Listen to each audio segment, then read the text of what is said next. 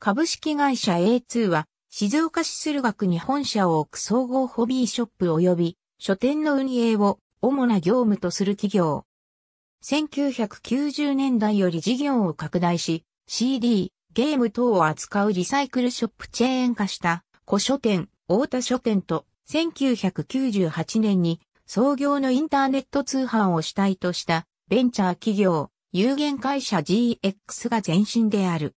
ゲームを主体にした A2、書籍を主体にしたブックマーケット、ホビーショップ、駿河屋を展開する。また、通信販売、インターネット部門としてネットショップの駿河屋 .jp を運営している。2020年8月現在、各ブランドを合わせて直営店は31店舗、FC 店は77店舗。2016年シーズンから清水エスパルスのクラブスポンサーに登録。リフォーム作業新聞が発行するリサイクル通信中古売上ランキング2021では総合部門全国7位、ホビー部門とインターネット通販部門で全国1位を記録した。駿河や秋葉原本館同社のインターネット通販事業。2015年には初の実店舗として大阪、高槻店を、ついで2016年には東京、秋葉原店と静岡本店を出店。また2018年には4月に東京、新宿店、6月に東京、池袋店、8月に北海道、札幌店を出店した。2019年5月に駿河や日本橋小太郎道止館がグランドオープン。同年11月に神奈川県初進出となる横浜店を出店。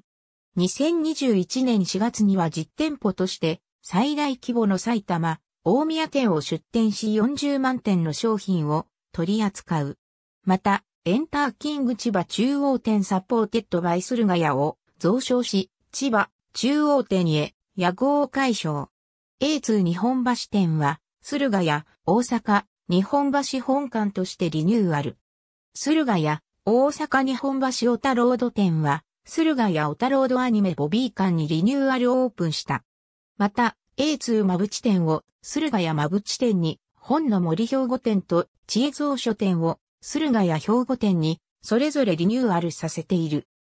AB 株式会社 A2 第21期決算広告、リサイクル通信中古売上ラキング2021部門別、ファミコンショップ、桃太郎全店閉店のお知らせ2015年9月9日、A2 内定取り消しの学生を募集、中部経済新聞、2021年3月21日、駿河屋が。RC カーの老舗、巨所と。資本提携。駿河屋に実店舗青い国、オープン A2、静岡新聞平成28年5月8日。付長官19面。駿河屋が実店舗ネット通販静岡に、機関店、静岡新聞平成28年5月7日付長官8面。ありがとうございます。